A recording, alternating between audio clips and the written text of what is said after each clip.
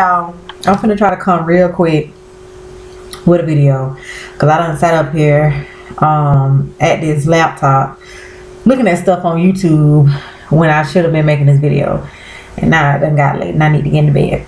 This is hollywood divas uh season one episode five. Okay y'all it opens up with paula coming home talking to her husband in that nasty behind house. Y'all let me just say this sir, you don't have no job. Okay? Like, am I the only person that is looking at this house? Like, why the hell do it look like y'all living? They doing a, a episode of hoarders with all these trash bags and stuff around their house. Like, come on. Like, for real, y'all. My mama, my mama just moved like a month or so ago. Like, my mom in her 50s. She just moved a month or so ago. She was like, nah, she went finna have all these boxes and all this stuff sit around for months or Sundays. You know what I'm saying? Like, come on, Polly, y'all, y'all need to get that together. Then she said that Countess was cool with her part, but then she flip flop. She might have been cool with her part, but she wasn't cool with the fact that you pretty much talking about she got the fine. Uh, she they gonna show the, the definition of love because she's not the typical one that you would see the athlete with. That was shade she wasn't cool with that. Then she talking about he said well they have a problem. And she was like yes five unemployed no four unemployed actresses. Hold up paula baby y'all just got got got a little piece of house you know couple of episodes ago. Y'all was homeless for five months.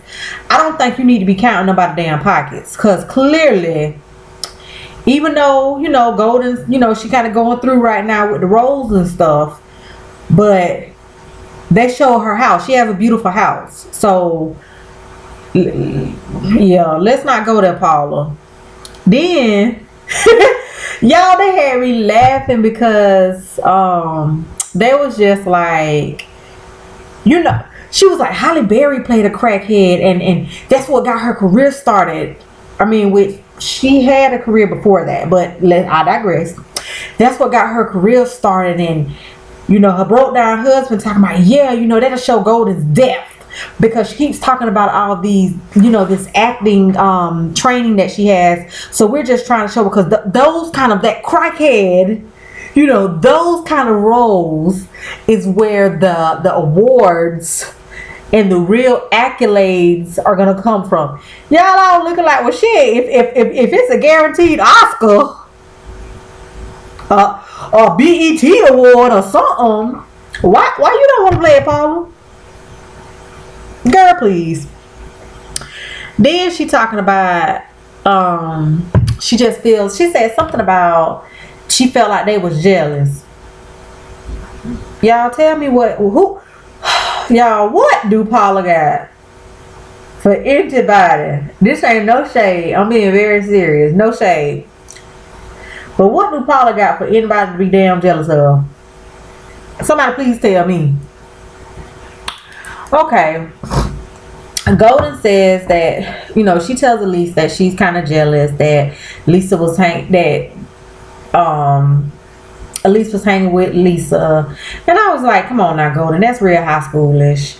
Um and you know her and Elise was talking and you know they was pretty much talking about how Paula you know, she tries to like interrupt Golden and, and try to get loud with her. And I, you know, they was saying they don't understand why she like that. She jealous. Of, to me, Paula's pretty much jealous of everybody on the show. Then um, the funniest thing tonight to me was Countess when she was getting the um the G the G spot uh, shot. That was funny. Um, I loved that yellow eyeshadow. Then we see Paula calling her broke down man talking about cause she get it. Said, girl, quit playing. Y'all can't afford that. Don't Paula don't put on for TV. Um then we see while Countess is getting the shot, we see Paula and Lisa talking, you know, about how the meeting went. You know, when everybody was like, wait a minute, we supposed to be collaborating and blah, whoop, whoop. And Lisa was right. Lisa was like, well, you told me that it was your project, but I don't know what you told everybody else. And from what the women, what, what the other women was saying, it sounded like it was supposed to be more of a collaboration, and maybe you know maybe they felt a little blindsided, which was exactly right. But Paula just done jumped down, you know, just done shut Lisa up. No, no, no. And blase whoop whoop and, and I'm just like, Paula, you don't never want to be wrong. You was wrong in that situation. Like seriously.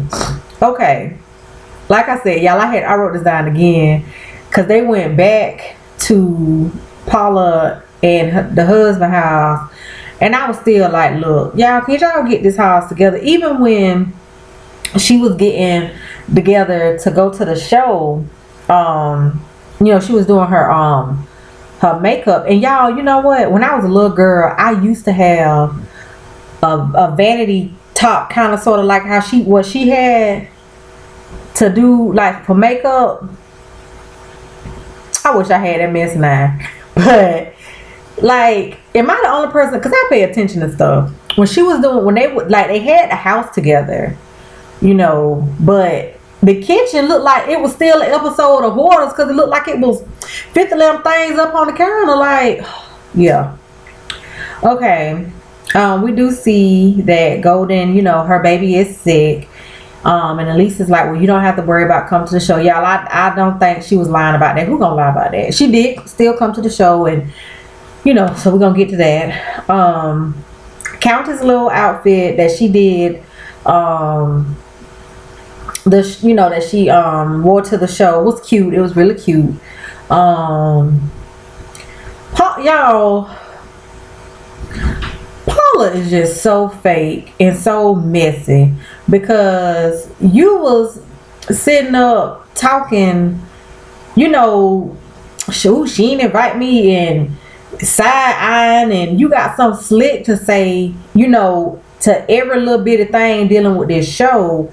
Yeah, you the biggest one. Woohoo! And I Yeah, that was just that was just so shady. I was like, girl, would you please get it together? Like you looking real, real phony right now. Like, um, yeah. Then Paula Paula said something slick about um Elise Elise made a comment about um Countess. She said, you know, we want to thank I think she said it like we want to thank Countess, you know, um she's beautiful beautiful, excuse me, in her own way. And Paula had something like she kind of made a little slip coming about that. It's the same thing she did when she talking about you we're gonna get to see the definition of love through you because you're not what you would typically think would be with an athlete. That shit, y'all know what? Honestly, three women now. Well, two. Cause Golden ain't really Golden is on that whole love yourself for who you are level tease or whatever. But to me, I feel like honestly, Paula and Elise in their own way have a problem with big women. I, I, I do because for you to say something like you're beautiful in your own way or you're not the typical like that that's assuming like i said on my last video that's assuming that every single man wants somebody that's really really thin. Every every man doesn't want a woman that's a size 8 and below. That's that's real. You know and that's no shade to anybody you know. But every man like for instance my young brother. I ain't never seen my young brother date no girl that's hell Ain't never, maybe eight, maybe. He like really thin girls. You know, but not every single man likes a woman that's really thin. And I just, honestly, I just feel like that's twice that they have referenced something dealing with her weight. You know what I'm saying? Or something dealing with trying to emphasize that despite of her weight she's beautiful. And I, I just feel like if you if you genuinely think somebody looks nice or is beautiful you you don't say oh she's pretty for a big girl or she's pretty in her own way. You know what i'm saying? Because that kind of implies that by regular standards you look like crap. I mean if that makes sense. Um then we got now Lisa. I was I was okay with Lisa this whole episode for the most part. But then Lisa, why you being so messy? Like after um after you know um uh I'm, I'm having a brain fart after Elise after Elise um you know thanked um Countess she didn't say anything about golden. I honestly didn't notice it. Okay.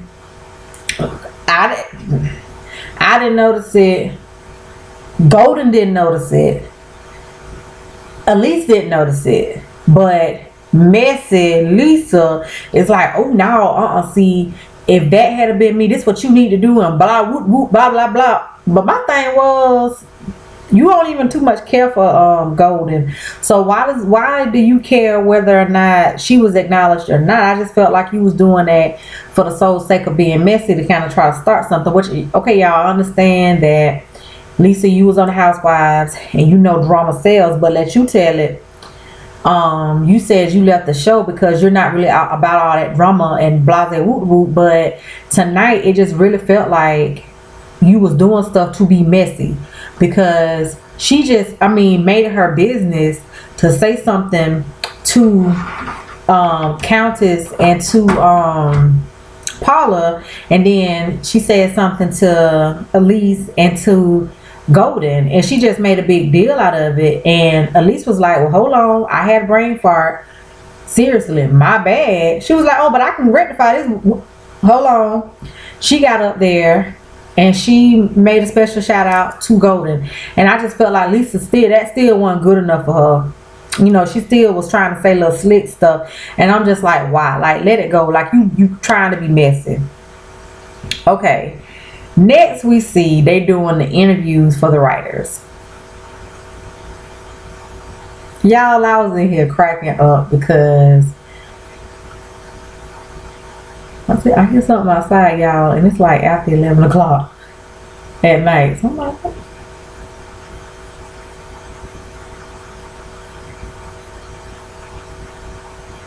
let me hurry up. I think that's my baby. In a humming or something, y'all. But anyway, he throwing me the hell off. Um, okay. So they have Lisa, you know, so everybody, I guess everybody brought somebody. They only showed um four. So they didn't. If if Countess brought some, you know, her own, you know, person, they didn't show him. But they had some, you know, everybody else had somebody. Okay, so y'all. Now, if y'all recall, when Paula Mama, which I can't, I can't remember her name, when she was talking to um when they was talking she said that broke down man told her that the reason he can't work is because he don't trust Paula to work, you know, to be on set and stuff. Because pretty much she'll open her legs up to anybody that take it. Y'all, Paula was giving me some loose in the panties um tease tonight because the writer that Golden had brought, she was like, oh, excuse me, what's your sign? And the dude was like, excuse me? And she's like, what's your sign? He said, Virgo, she's like, mm. I said, oh yeah. Yeah, broke down man was right. You a hoe. Um, sorry. Now, next, you know, she's like, um, I got, you know, I got a trick up my sleeve. And who walks out? Old broke down man. So I'm like, Lord, she, why she brought this? Why she brought her husband? But just like Golden said, he actually, you know, he had some ideas or whatever. Okay. Because especially like for Golden's character, because you know they done changed it. She said she ain't gonna be no crackhead. She'll be somebody that's dealing with like mental illness. And he said his mother was a caseworker, specialized in mental illness, this, that, and third. So she was like, you know what? Once he actually got a chance to talk for himself, you know, he brings something to the table and it was interesting. But y'all, once again, Paula confirmed what I what I said last week. She pretty much want a man that she can control because she was like, they telling me to let him speak for himself, but clearly that's coming from women that's not married because all women know that men can't speak for themselves. I mean, I already know what he gonna say, so I can go ahead and say it. He can't speak for himself. Y'all, I guess that's the difference between a man that work and provide and a man that's just broke and broke down because yeah, I don't speak for my husband. No. My husband is a grown ass man. My husband has a mother. Okay. He been just like K Michelle say, you can't raise a man. He been raised. Okay. So my role as his wife is I'm his partner, you know, and I'm gonna stand by his side, but I'm not gonna speak for him, just like he not gonna speak for me. Like I'm you know, like I'm not a grown ass woman now, don't get me wrong you know, there are those, you know, those circumstances. Um, me and my husband are very traditional. When it comes to another man, now nah, you go through my husband. That's but that's not that's not me you know him speaking for me or when it comes to another woman me speaking for him that's a sign of respect okay so yeah I, y'all she she lost me when she talking about no man know how to speak for themselves and yeah yeah, she. Mm-mm. That just to me, that just you know, you know, that just confirmed again that she pretty much just wants, you know, somebody that she could tell what to do. Y'all, that's that for this episode. Honey, I'm ready for next episode because that's going to be some meat, potatoes. That's going to be some good teas because it's going to be something where this this is the episode next episode that I have been waiting for because when I saw the previews, you know, be like this season, I was like, ooh, because I saw Paula telling Golden about staying with my man, and I was like, dang, Golden girl, you like that? Mm, excuse me, y'all. I'm with Golden because when if you look at the clip when Paula says stay away from my man, everybody, Lisa, all them like like Golden like to spit out her drink, and she's looking like I'm sitting up here like, okay, no shade, um, sweetie, but girl, don't nobody want this man but you. Now, from the sounds of things, I mean, he might leave you for Golden, even though you know Golden kind of going through right now. She's her living situation and her finances better than yours, and you said it yourself that he thought he was getting a woman with money and blah whoop whoop, and you ain't got it. So he, you know, he wants to be a kept man, so he might leave you, you know. But child, them women don't want him. Why would you? Y'all ain't no gold digger or nothing like that, but who want a man that you had your wife and your child living in a hotel. You bring nothing to the table. So why would I want you? Uh, y'all, I be I keep saying it. Y'all, Paula is delusional. If you really think somebody want this man other than you, so y'all, that's what I'm waiting on. I'm I am waiting. Yeah, I'm waiting on that episode. Y'all, I'm, I'm really liking this show. It's really cute. Um like I said just about every episode, I, I, like the realness. I really do. But as always, y'all, I do thank y'all for watching. If you subscribe to my channel, thank you very much. If you don't, but you just watch the videos, um, thank you very much. I do videos strictly because I like doing them. Um, tomorrow is Thursday.